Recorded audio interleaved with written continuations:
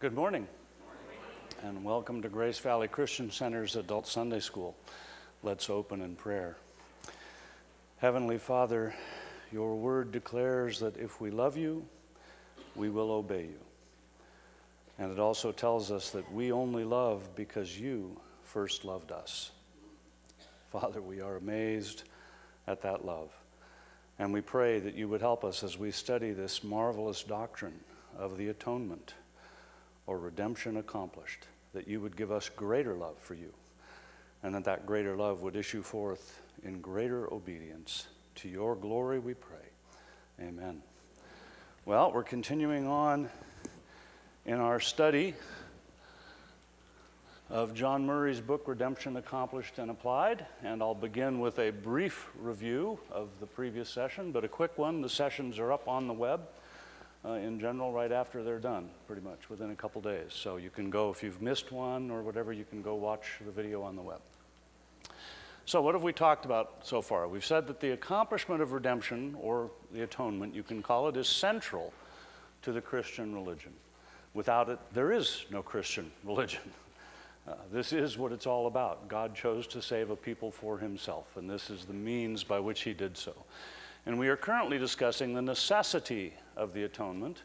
And we've established a number of things. So far, we've established that the source of the atonement was God's love, and that Adam's sin plunged man into bondage as our federal head, and it plunged us into death, both physical and eternal, resulted from that bondage. We've established that sinful man cannot redeem himself. This is not possible. But God freely chose from eternity past to save some. So, we've also discussed the fact that many people have denied the necessity of the atonement, or even in some cases, the very fact of the atonement. And these liberal views are not reconcilable with the scripture and come ultimately from a denial of the authority and or the reliability of the scriptures. And i showed that cartoon from 1922 i think it was with the staircase coming down. And the, the first step was a denial of the authority of the word of god. That is a very fundamental point. That was not a slippery slope fallacy as i pointed out because there's a causal connection between denying the authority and the infallibility of the Word of God and leading yourself straight into varying degrees of agnosticism and ultimately atheism. Because if all of us have some ultimate authority, as we pointed out, and our ultimate authority should be the Word of God, um, we have to have some ultimate way of deciding what is true and what is not true. And if it isn't the Word of God, then it's going to be human reason, either mine or somebody else's. Martin Luther made the point that there are two different ways of using the human reason. We can use it in a magisterial sense, as a magistrate, standing in judgment over the Word of God and saying, well, this part I think is right, this part I don't think is right, so I'm now the authority. I'm God. Or we can use it in a ministerial way in service of the Word of God, trying to come to a true understanding of what it is God is communicating to us in this revelation. And that's the proper use of human reason. It does not mean to be credulous. It does not mean to be thoughtless. It does not mean to put your brain away. Quite the contrary, it's the greatest use of our intellect to try and think God's thoughts after Him and understand what it is He has told us about the nature of man, the nature of God, and the salvation. So, the atonement was necessary. The necessity of the atonement is an essential doctrine of biblical Christianity. There is no other name under heaven given to men by which we must be saved. And Wayne Grudem addresses the necessity of the atonement in chapter 27 of his systematic theology. And he offers a couple of good arguments that are not adduced by Murray in, in favor of just the necessity of the atonement. And I thought two of them would be worth bringing up. In Matthew 26 39, Jesus prayed, If it is possible, may this cup be taken from me, yet not as I will, but as you will. Now, we know that Jesus always prayed in the will of God. And we know that his prayers were always efficacious. So we can conclude that if in fact it had been possible for this cup to be taken away from him, it would have been. But it wasn't. It was necessary. And then, secondly, in speaking to two disciples on the road to Emmaus, Jesus said, Was it not necessary that the Christ should suffer these things and enter into his glory? And it was a conclusion that Jesus reached from the Old Testament scriptures as he opened the Word of God to them and showed them from the Old Testament everything that was said about himself. So, those are, I think, two fairly powerful arguments for the necessity of the atonement. They don't necessarily address the issue of what type of necessity, which we'll get to in a bit. So, we've looked briefly at some of the liberal theories of the atonement and presented some arguments that were opposed to them and that are not in Murray's book. So, now let's turn to Murray's book and start following fairly closely the material in chapter 1. So, Murray examines the two most important answers that have been given to this question by Bible believing Christians. And those are called the hypothetical necessity and a consequent absolute necessity. So, what is meant by those phrases? Well, the phrase hypothetical necess- necessity actually goes back to Aristotle. And it means that which is necessary on the condition or on the hypothesis that the end is to be obtained. And I took that from the Stanford Encyclopedia of Philosophy. In this case, we have to understand we're talking about the type of necessity. So it's not just the end to be obtained, the fact that there should be redemption, but it's the way in which that was accomplished that we're talking about here as being the hypothesis. All right? A consequent absolute necessity, on the other hand, is something that is absolutely necessary as a consequence of something else.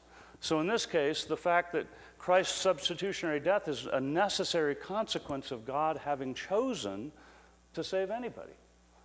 That there wasn't some other way this could be accomplished. That's what's meant by the consequent necess- absolute necessity. There was not another way to accomplish it, but it wasn't necessary that it be accomplished at all. That was God's free sovereign choice. All right?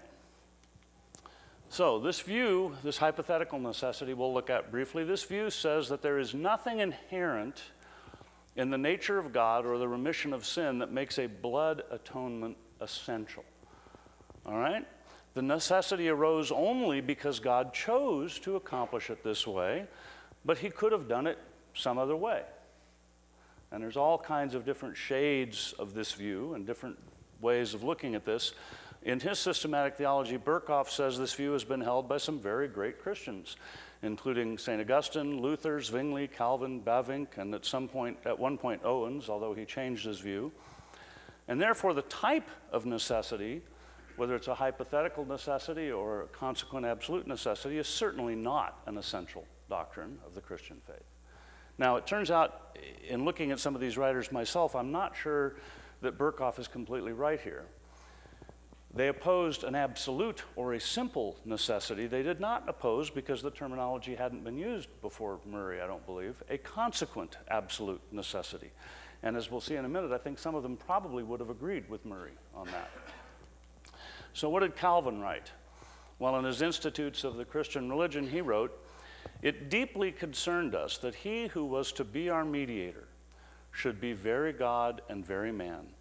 If the necessity be inquired into, it was not what is commonly termed simple or absolute, but flowed from the divine decree. So there's the hypothetical. It was hypothetically necessary on the basis of God's having decreed, okay?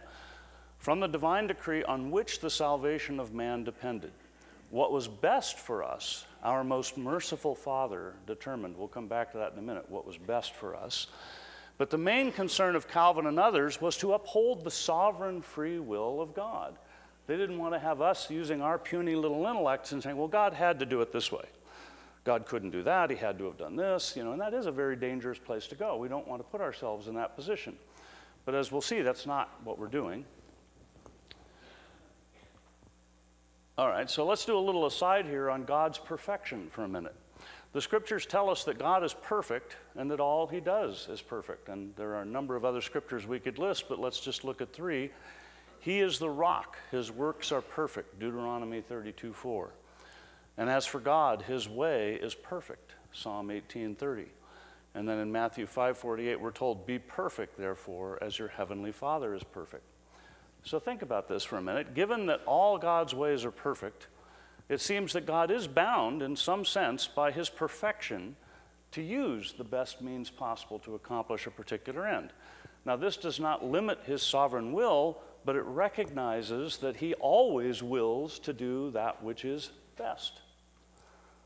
So when Calvin said God would determine the best way, I would say that maybe Calvin would have agreed with the idea of a consequent absolute necessity, although he was opposed to a simple or absolute necessity.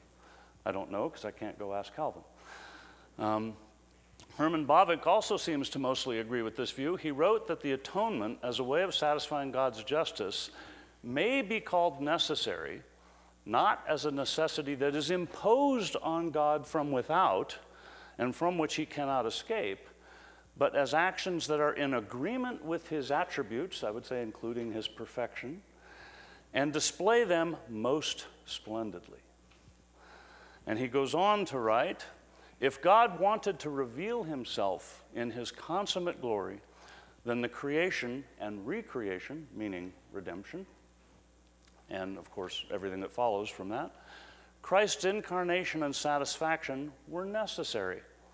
His perfections were already made manifest in creation, but they are much more richly and superbly displayed in the recreation. So it seems that Bavinck uh, might well have supported Murray's consequent absolute necessity as well. And this is what Murray calls the classic Protestant position, although he, although he doesn't then go on to list who all held it. So I'm not sure who he thought held the view. In his book on the atonement of Christ, Francis Turretin, uh, who was a 17th century theologian, writes that the necessity of the atonement makes a glorious display of the most illustrious of the divine perfections. And he goes on to look at four of them here. First, of his holiness. So, how does it display his holiness? On account of which he can have no communion with the sinner until, by an atonement, his guilt is removed and his pollution purged. And then it makes a glorious display of his justice, which, is inexorably, which inexorably demands punishment of sin. It makes a glorious display of his wisdom in reconciling the respective claims of justice and mercy, and of his love in not sparing his own son in order that he might spare us. So I think this is a wonderful passage. It gives us a little tiny bit of an idea into realizing that this way of accomplishing the atonement was the perfect way for God to make manifest his glory in all of its multifaceted nature. Murray explains, getting now to the consequent absolute necessity, Murray explains the word consequent in this designation points to the fact that God's will or decree to save any is of free and sovereign grace. So we are not in any way limiting God's free sovereign will here. Again, it's only absolutely necessary as a consequence of his having decided to accomplish this. The terms absolute necessity, however, indicate that God, having elected some to everlasting life out of his mere good pleasure, do you recognize the, the phrasing of the shorter catechism here?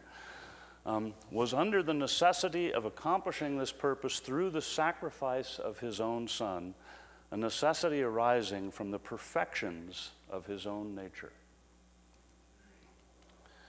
So, is this vain speculation? Are we doing something that we should not be doing here in light of Deuteronomy 29 29, which says that the secret things belong to the Lord our God? All right, but the things revealed to us and our children. So, are we violating that in some way by, by diving into trying to figure out was this absolutely necessary of God? Or should we just back up and say, well, we just believe what the Bible says and don't go any further, which is always a good stance. But let's look at what Murray says here. He says, It might appear to be vainly speculative and presumptuous to press such an inquiry and to try to determine what is inherently necessary for God. But it is not presumptuous for us to say that certain things are inherently necessary or impossible for God. It belongs to our faith to avow that He cannot lie. The scriptures themselves tell us God cannot lie. The scriptures themselves tell us God cannot be unfaithful. The scriptures tell us a number of things God cannot do. You know, the old theologians used to get into all sorts of silly arguments. You know, can God make a rock so large that God can't move it? That's just silliness. Of course, God cannot make a rock so large that God cannot move it, but it's a silly argument. But nonetheless, there are things that we can say God can't do or won't do, however you want to put it. And so Murray says the real question is Does the scripture provide us with evidence or considerations on the basis of which we may conclude that this, meaning the atonement, is one of the things impossible or necessary for God to have accomplished the atonement in this particular way. And St. Anselm of Canterbury, who was an 11th century theologian, was, as nearly, was one of the early scholastic Christian philosophers. And the scholastics in general are not people that I would quote or look at. If you read Calvin's Institutes, he, he excoriates them over and over and over again. He usually calls them the schoolmen. And of course, the, the scholastics were mostly epitomized by Thomas Aquinas, who came nearly 200 years after Anselm. But Anselm was the earliest one. And he did write some good things. He wrote a book called Cur Deus Homo, which is why God became man. That has some really strange stuff in it, but it has some useful things. But the main point I'm bringing him up was his motto was fides quaerens intellectum, which means faith in search of understanding. And Thomas Williams writes that this motto really means something like an active love of God seeking a deeper knowledge of God. And that's what we're doing here. We don't want to be questioning God in the sense of saying, is what you've done just, or do I agree with it, or any of these things. We want to question God from the point of view of saying, I want a deeper understanding of my Creator and my Redeemer and my God so that I can love Him better and obey Him better. All right, so Murray's arguments. He's, he says that the six arguments that he presents in favor of a consequent absolute necessity must be viewed in their cumulative effect rather than individually. Although I think there are several of them that are extremely powerful on their own merits, when you put all six together, I think the case is pretty well closed. Um, so he says, you know, you've really got to look at all six. If you think one of them's a little bit weak, don't get too bothered by that. So he makes six arguments. The first argument is that there are those passages in Scripture, of course, which create a very strong presumption in favor of this inference, again, of the idea of a consequent absolute necessity. And let's examine two of the verses that he gives as examples, Hebrews 2:10 and 17. And he uses Hebrews a lot, of course, because of all the books in the Bible. Hebrews is the one that most clearly speaks of this idea of a new covenant and of all of the sacrificial system of the Old Covenant being typology that pointed forward to Christ, and of Christ being the priest of a new covenant, and the sacrifice of the new covenant. And this is a better covenant, and all of these things. So we use Hebrews a lot. And in Hebrews 2:10 it says, "In bringing many sons to glory, it was fitting that God, for whom and through whom everything exists, should make the author of their salvation perfect through suffering." So it was fitting. It was, it was a proper way for God to do this. And God, of course, always does things in the right way. That's a presumption in favor of this. It gets a lot stronger in Hebrews 2.17. For this reason, he had to be made like his brothers in every way, in order that he might become a merciful and faithful high priest in service to God, and that he might make atonement for the sins of the people. Now read just the words I underlined. He had to be made in order that he might make atonement. He had to be. It was necessary. Having decided to atone, it was necessary that God do it this way. So these verses strongly imply that it was necessary that redemption be accomplished this way. Now, Murray's second argument is that there are passages such as John 3:14 to 16. You all know 16, but you probably don't remember 14 and 15. We'll get there in a second. Which rather definitely suggest that the alternative to the giving of God's only begotten Son and his being lifted up on the accursed tree is the eternal perdition, in other words, the eternal damnation, the eternal punishment of the lost. We can hardly escape the additional thought that there is no other alternative. So let's take a look at John 3 14 through 16. Just as Moses lifted up the snake in the desert, so the Son of Man must be lifted up everyone who believes in him may have so that everyone who believes in him may have eternal life and then we get to john 3.16 which is familiar. So in other words just as moses in that old testament story lifted up the snake on a pole that people could look to that and be healed the son of man must be lifted up. Again it's being stated as though there's no alternative to this. All right?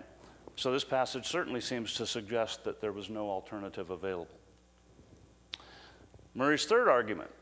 Well, he argues that the gravity of sin itself, the, the, the, gravity of our sin and rebellion against God, which I think is something you can never think about too much because we don't grasp how wicked and terrible and awful our own sin is.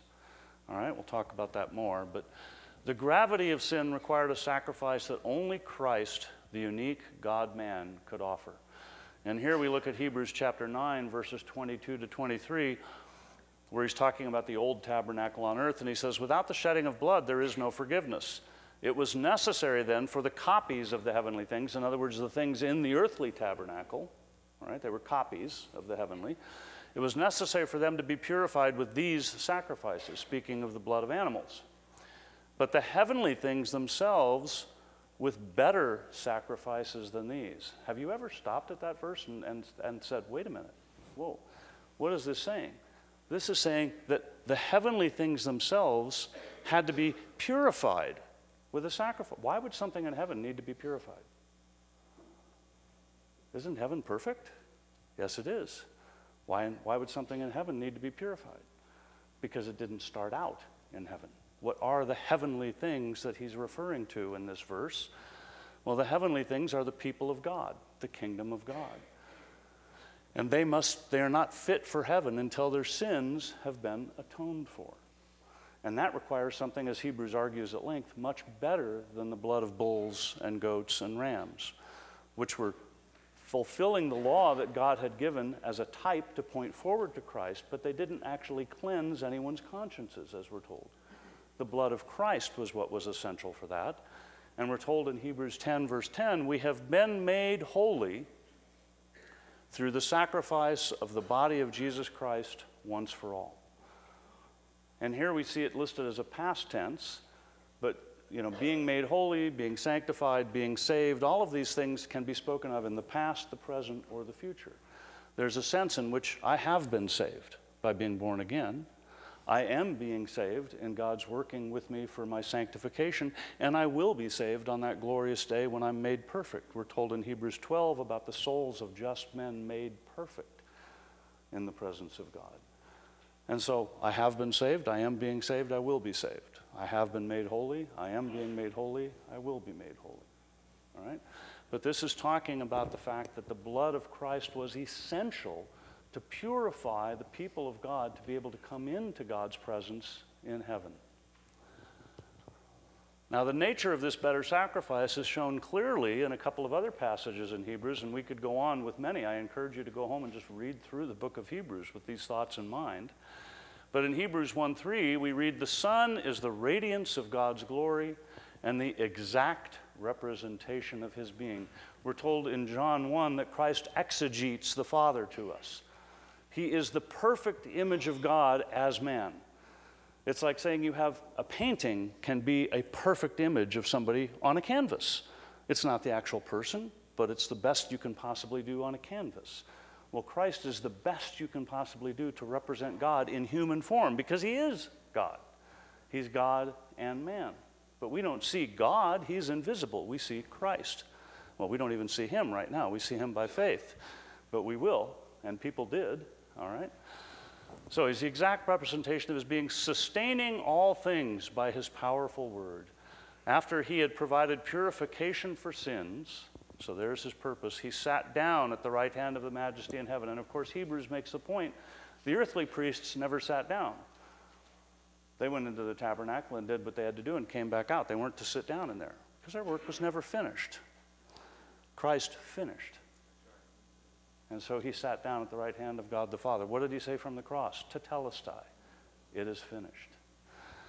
For this reason, Hebrews 2:17, for this reason he had to be made like his brothers in every way, in order that he might become a merciful and faithful high priest in service to God, and that he might make atonement for the sins of the people, arguing about the necessity of God becoming man to pay the penalty for the sins of men. And finally, in Hebrews 9, 11, and 12, when Christ came as high priest of the good things that are already here, he went through the greater and more perfect tabernacle that is not man made, that is to say, not a part of this creation. He did not enter by the means of the blood of goats and calves, but he entered the most holy place once for all by his own blood, having obtained eternal redemption. And we'll come back to this passage in a little bit. So he further points out that the Levitical sacrifices are presented in, as presented in Hebrews 9, as, or are, I'm sorry, are presented in Hebrews 9 as mere patterns of the heavenly exemplar, the transcendent blood offering by which the heavenly things were purified. And Murray states the necessity of bloodshedding in the Levitical ordinance is simply a necessity arising from the necessity of bloodshedding in the higher realm of the heavenly. So God established all of the earthly sacrifices to point forward to Christ only because the bloodshedding was necessary to accomplish redemption in the first place through Christ. And so he established the sacrificial system as, a, as an image of that, as a type of that, to point forward to the heavenly reality. And then Murray asks on this argument, he says, so, you know, that says it's necessary, but what kind of necessity is it? So he says, what kind of necessity is this that obtained in the realm of the heavenly? Was it merely hypothetical, or was it an absolute necessity? Could God have chosen to do this in some other way, or did he have to do it this way? And he then gives three sub arguments to support his contention that bloodshedding was an absolute necessity in the heavenly realm, which is what is ultimately what we're talking about here. So, his first sub argument, he said, speaking about the passage in Hebrew, passages in Hebrews 9, Murray writes, the emphasis of the context is that the transcendent efficacy of Christ's sacrifice is required by the exigencies arising from sin. So, in other words, those things that are true because of sin, and these exigencies are not hypothetical, they are absolute. And to fully appreciate what he's saying, we must consider the typological symbology used in the Old Testament and then go back and look at the New Testament passages we just saw again, very briefly. So let me do this. But again, I encourage you to go home and do this because it takes real thought and reflection to, to get this right. So, what about the tabernacle in the Old Testament? Well, first of all, it was in the middle of the Israelite camp, right? Because what is central? God. The Bible begins in the beginning, God. All through, it's talking about God. And at the end, it's all about God. Everything is for His glory. From Him and to Him and through Him are all things. So it's all about God, and He was central to the Israelite camp. Then, when you come into the tabernacle, when you walk into the courtyard of the tabernacle, what was the first thing you saw? The bronze altar. Why? Because we're sinners. We have rebelled against God. We cannot come into his presence willy nilly. There, there needs to be an altar, there needs to have been a sacrifice for us to come into his presence. And then when you went into the tabernacle itself, which you couldn't do, by the way, unless you were a priest, but when you went into the tabernacle itself, what was first there? The holy place. Only the priests went in there, and they went in there to change the showbread, to, to keep the incense burning, and so forth. All right? But they never sat down in there. And there was a curtain, and what was behind the curtain was the most holy place, or the Holy of Holies. And the Ark of the Testimony contained the law. That was what was behind the, temp- the curtain in the most holy place. And the ark contained the law and some other things, and it had a solid gold atonement cover with the cherubim carved onto the edge, overshadowing the atonement cover. And we're told in the Old Testament that God met with the high priest in the cloud above the atonement cover. And the high priest went in only once a year, and only on the Day of Atonement, Yom Kippur, and only with blood. Blood, first of all, for his own sins and for the sins of the people. And what's the symbology? He goes into the Holy of Holies only once a year, and he puts, sprinkles blood on the mercy seat. God appears above the mercy seat in a cloud. He looks downward toward the law, which we have broken, and in between he sees the atonement cover, the mercy seat with the blood on it. So it's covering our having broken the law, it's covering our sins. That's the symbology here. And the atonement cover or the mercy seat is central to this typology, and it's very interesting. It was the top of the ark, as we just said, and in the Greek translation of the Old Testament called the Septuagint, and then also again in Hebrews 9:5, written in the Greek, it's called the hilasterion. That's the Greek word for the mercy seat or the atonement cover. All right? And the interesting thing about that is when you look in Romans 3:25, Paul writes God presented him, is what it says, but it's referring to Christ. God presented Christ as a sacrifice of atonement. And the word, the phrase sacrifice of atonement there, which can also be written propitiation, this is the NIV, propitiation is what's used in the King James or the ESV. That phrase, sacrifice of atonement, translates that same Greek word, hilasterion. Christ is the mercy seat. Christ is the atonement cover. So the symbology is that he went in by his own blood, and then he is what God sees when he looks at us. He sees we are clothed, we're told, in the righteousness of Christ. So it is Jesus himself and his blood that offer the ultimate propitiation or atonement, typified by the atonement cover and the ark in the Old Testament. So now reconsider one of those passages, 9, 11 through 12. When Christ came as the high priest of the good things that are already here, he went through the greater and more perfect tabernacle that is not man made, that is to say, not a part of this creation. So this is all talking about the heavenly transaction that is taking place here. He did not enter by means of the blood of goats and calves because that's not efficacious. But he entered the most holy place once for all, and now the most holy place means into the presence of God himself, not just into the most holy place of the tabernacle where God appears in the cloud, but the true most holy place, the throne room of God in heaven. And he entered there once for all by his own blood, having obtained eternal redemption, and he sat down. Praise God, because the job is done, it's completed. All right. The second sub reason or sub argument that Murray gives here for the absolute necessity is he says the precise nature of Christ's priestly offering and the efficacy of his sacrifice are bound up with the constitution of his person. You can't separate these things. The necessity and the efficacy of the sacrifice are bound up with who Christ is as the eternal God man, the unique God man. In other words, Hebrews argues that the superior nature of the heavenly exemplar, Christ, and his work, on which the earthly tabernacle and sacrifices were patterned, points to the need for the unique God man to be both priest and sacrifice. And so you can go back and look again at Hebrews 1:3 and Hebrews 9:23. Hebrews 1:3 that we read before says the Son is the radiance of God's glory and the exact representation of his being. We talked about that sustaining all things by his powerful word, after he had provided purification for sins, he sat down at the right hand of the majesty in heaven. So, this is speaking of this heavenly transaction on which the earthly tabernacle and its services were patterned. And then in Hebrews 9 22 to 23, again, without the shedding of blood, there is no forgiveness.